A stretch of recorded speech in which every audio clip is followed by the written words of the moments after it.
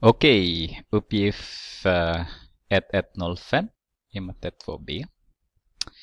Eh, vi har fyra uppgifter där igen. A, B, C och D.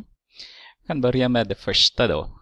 Eh, regel säger så här att om de är näst intill, alltså de två, är inte lika så blir det ett negativt. Så vi har 7 minus 3 istället. Och så använder man sina kunskaper i subtraktion. Så 7 minus 3 är 4. Det nästa, jag säger till igen, om de är lika, då blir det positiv. Alltså 5 plus 4 blir det. Så har man 9.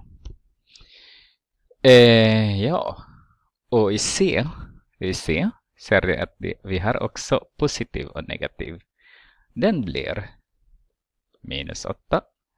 Och så blir den negativ där då, minus 2. Så har man negativ 10 eller minus 10 brukar man säga. Och sen vi har också två negativa där. Så den blir positiv, så vi har minus 3 plus 9. Så har man 6. Så vi kollar.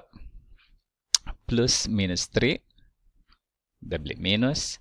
Negativ negativ 4 eller minus negativ 4 blir det positiv.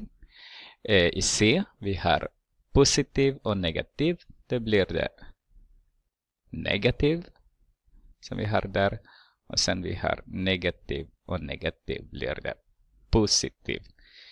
Så blev det så.